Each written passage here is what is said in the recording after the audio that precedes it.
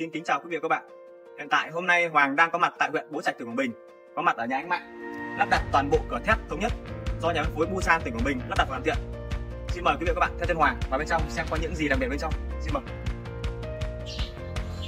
Trước mắt các bạn đây là hệ cửa với cái lệch sử dụng phần trụ 250 và đỉnh 430 và được sử dụng màu vân luôn sáng. Trên cánh cửa được dọc huỳnh hoa cúc. Như các bạn có đã biết, huỳnh hoa cúc biểu tượng của sự sống, tài lộc và niềm vui.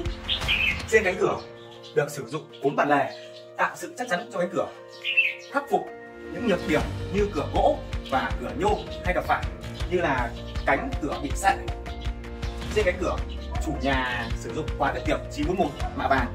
Đây, như các bạn cũng đang nhìn thấy. Rất đẹp đúng không ạ? Tiếp theo, mời các bạn theo chân Hoàng đi lên với một cửa sổ để xem một cửa sổ có những cái gì hay và đặc biệt. Xin mời.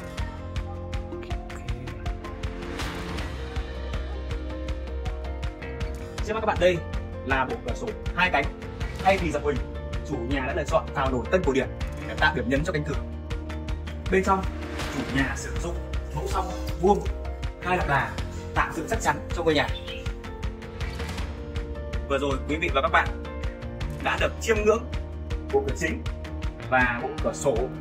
Tiếp theo, Hoàng mời các bạn theo chân Hoàng, đi đến với bộ cửa hai cánh nằm ở hướng nam.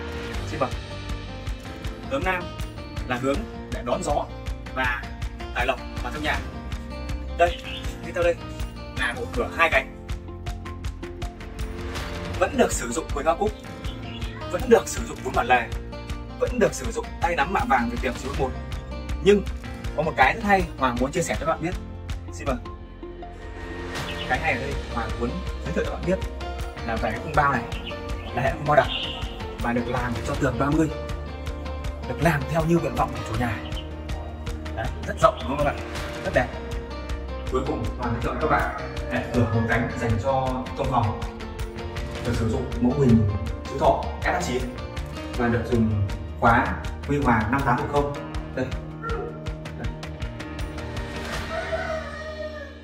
Vừa rồi Hoàng đã đưa các bạn đi chiêm ngưỡng một vòng xem tất cả những bộ cửa thép thống nhất được nhà phân phối Busan lắp đặt và hoàn thiện.